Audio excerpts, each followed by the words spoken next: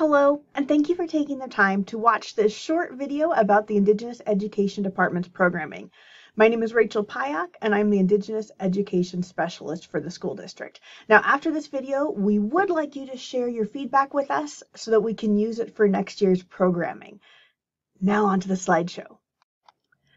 So our department is funded through the Federal Office of Indian Education, and all funds must go to Indigenous students. Now, currently, as you can see, we have 1,042 students in the program, and in total, the school district has 8,614 students. So that means 12% of the total student population are enrolled in the Indigenous Education Program. Students are enrolled once they have a 506 form on file stating what tribe they, their parents or grandparents belong to. And this is usually filled out when they register for school. Each child does need their own form to participate, but once the form is filled out, it doesn't expire. To participate in the grant, the Office of Indian Education has us choose from a set list of objectives from which to create our programming. And we have chosen three objectives increase academic achievement, increase knowledge of cultural identity and awareness, and increase parent participation. So for the first objective, increase academic achievement, we have paraprofessionals in Nanwalek, Port Graham, and Tebughna schools who work with students in small groups, assist in classrooms, and at times help implement cultural lessons in the schools. Now, we'd really love to have tutors in all buildings, but we don't have a budget for that. But thankfully, through other grants, most middle and high school buildings have tutors that I often connect families with. So if your child is in need of help, please let me know and I will connect you to a school tutor.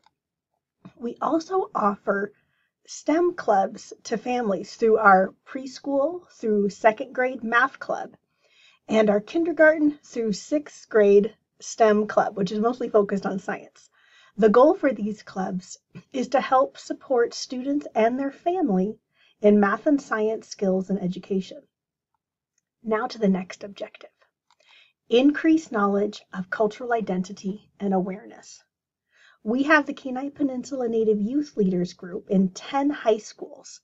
Students learn about Indigenous culture and can earn a half leadership credit each year as they complete a course of study. We also have cultural activities throughout the school year. I go into classrooms through the district teaching drum making, about traditional foods, and waterproof clothing.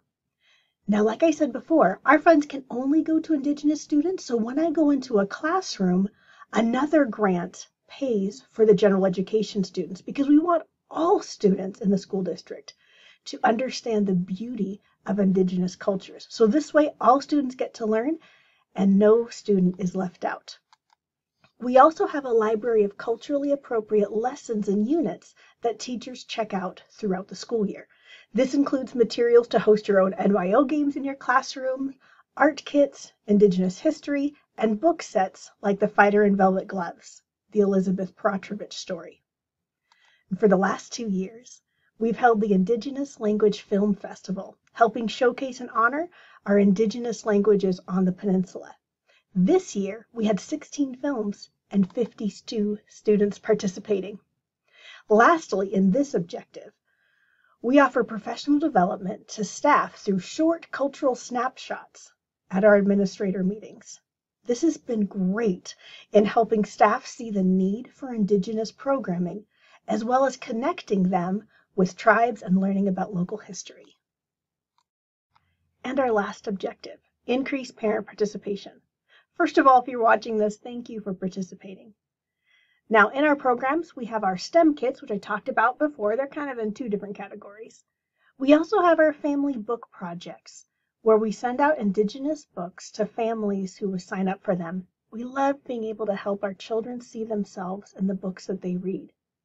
We also have different kits that we send out to families throughout the year, from projects on northern lights to baking, making lanterns and such. So now I'd like to hear from you. Please take this short survey. There's only three questions where you can tell us your comments, you can ask questions, and offer suggestions for next year's programming. Now, last year we had 55 families share their thoughts, and through surveys just like this, and I'll tell you, we read every single one.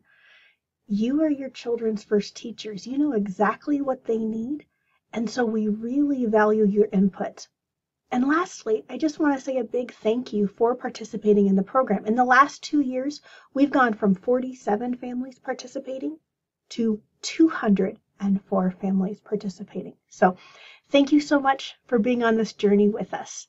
Take the SHART survey and let us know how we can help. Have a great day.